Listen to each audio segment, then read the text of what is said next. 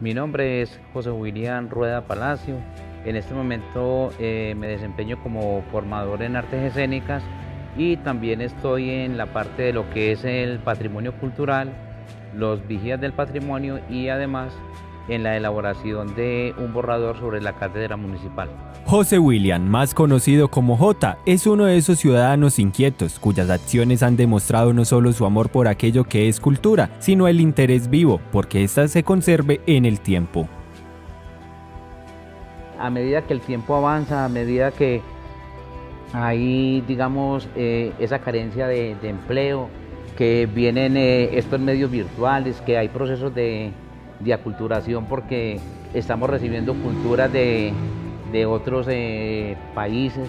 Entonces eh, se va perdiendo poco a poco lo que es el sentido de pertenencia por lo nuestro y la identidad cultural. No solo es apasionado por la historia de su tierra, hacer y enseñar teatro también ha hecho parte durante muchos años de su vida.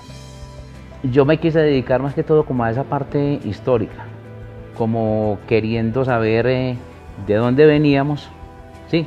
Y qué estábamos haciendo y hacia dónde era que pretendíamos llegar.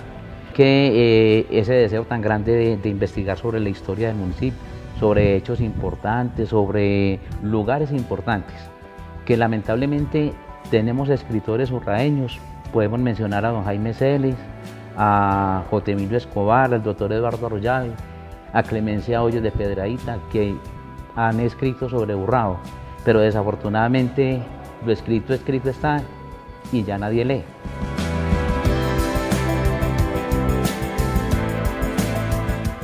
Que yo inicialmente empecé aquí en la Casa de la Cultura como auxiliar de biblioteca, pero yo veía que se estaba dejando de lado eh, una parte de, de la comunidad que verdaderamente valía la pena y que quería y que uno decía a ellos también hay que darle la oportunidad y fueron los niños. ¿Qué hice? Ya tengo la experiencia con los niños, voy a trabajar con los jóvenes, voy a convocar también personas adultas que quieran venir. Pero fui así prácticamente como me fui encauzando hasta ahora y son casi 25 años que llevo ya con eh, esta formación.